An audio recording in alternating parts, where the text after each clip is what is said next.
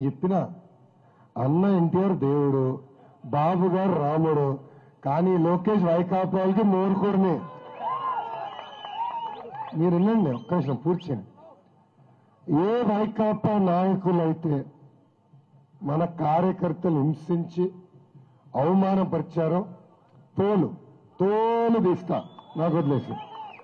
రెండోది ఏ అధికారులు ఒక నిమిషం. ఏ అధికారులైతే చట్టాన్ని ఉల్లంఘించి బడుగు బలహీన వర్గాలు చెందిన వ్యక్తుల పైన తప్పుడు కేసులు పెట్టారో.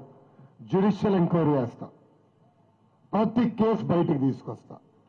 రేపు ఆ సర్వీస్ నుంచి డిస్మిస్ చేస్తా. జైలు కూడా నేను పంపించే బాధ్యత ఈ లోకేష్ తీసుకొస్తా. తీసుకుంటా. ఎందుకంటే నేనే బాధితుడినండి. నా పైన అటెంప్ట్ మర్డర్ ఉందమ్మా? అమెరికాలో చదివినానమ్మా. నాలుగు సంవత్సరాలు ఇంజనీరింగ్ అమెరికాలో చేసిన. రెండు సంవత్సరాలు అక్కడ ఉద్యోగం చేసిన.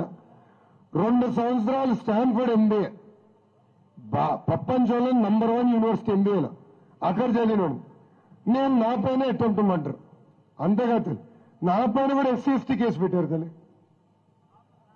నేను కూడా బాధితున్నాను ఈ ప్రభుత్వం చేత. ఇరవై కేసులు ఉన్నాయి నా పైన. ఇరవై కేసులు. తగ్గేదే లేదు. తగ్గేదే లేదు. ప్రసక్తే లేదు. ఈరోజు పాదయాత్ర చేస్తుంటే పీలేరులో నిన్న.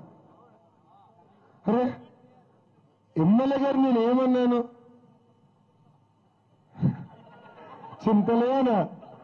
అంతే అంతే కదన్నా. ఇంకేం పేరు పెట్టలే కదా.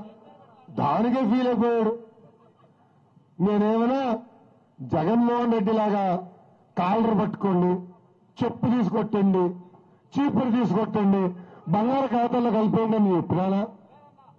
నేనేమైనా వాళ్ళు మా తల్లిని అవమానించినట్టు వాళ్ళ పార్టీ మహిళలు కానివ్వండి జగన్మోహన్ రెడ్డి గారి తల్లి నేను ఈనాడని అవమానించా? లేదు. మాటడ శాంతియుతంగా పాదయాత్ర జరుగుతుంది. మీరు ఆశీర్వదించారు దీవించారు అందరు రోడ్డుపైకి వచ్చారు. నేను ఎక్కడ చూడలే ఇట్లా.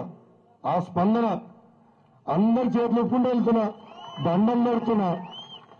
అది చేస్తే కూడా తట్టుకోలేదండి. వాళ్ళు వచ్చి నన్ను అనేకం మాటలు అంటారు. వాళ్ళు వచ్చి మన కార్యకర్తలపై దాడి చేస్తారు. వైకాపా నాయకులు మీకు చెప్తున్నా. కొట్టించుకునే బ్యాచ్ కాదు బాస్ మేము. కొట్టే బ్యాచ్. మీ పని మీరు చేసుకొని మా పని మేము చేసుకుంటాం.